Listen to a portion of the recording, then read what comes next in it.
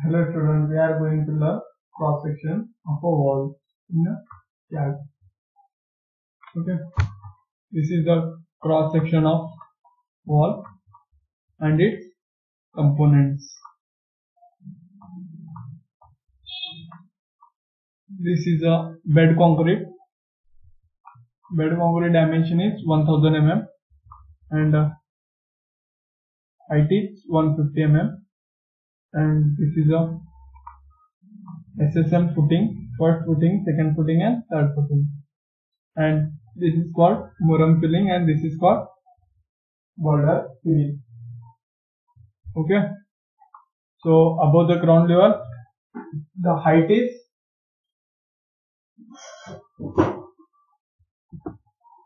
so this is the height of third footing. Okay. So this is a CC flooring in cement concrete 1 is to 3 is to 6. This is a window. This is a lintel with chajja of a height of 1350 mm. Okay. So this is the depth of lintel chajja is 150 mm. This is a brick burn brick masonry in cement mortar 1 is to 3 this is a rcc slab in cement concrete 1 is to 2 is to 4 and this is a parapet wall. Okay. See that the all the dimension you have to prefer. This is a plinth level this is a first footing. Bed concrete is 1000 by 150 and first footing is of a SSM footing is 800 by 300 mm and second footing is 300 by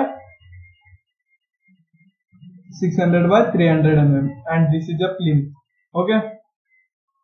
So the below the ground level 1000 mm is our dimension. Okay?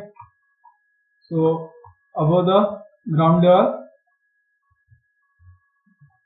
we are going to draw muram filling boundary uh, boulder filling and cement concrete flooring in cc 1 is to 3 is to 6 this is a dpc okay? Just So what is the procedure of uh, this cross section of wall to draw? First set the appro appropriate values of limit units and zoom. Okay.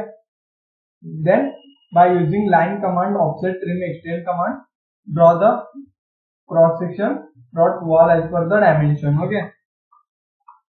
You just remembering this all the dimensions okay? Then by using hatch command hatch the component of cross section dot wall then add the measurement dimension and by using DTEXT and add a test to the drawing and complete it with details. Okay? So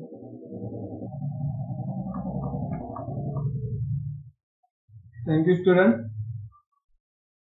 I am pausing this video here only. So next experiment we are going to draw the next class. Okay?